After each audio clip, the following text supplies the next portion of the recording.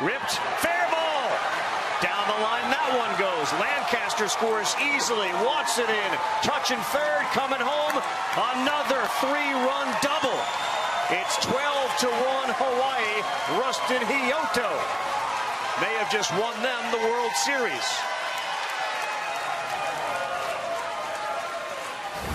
Rustin Hioto, again, look at the pitch location, down and out. I mean, this is not a strike.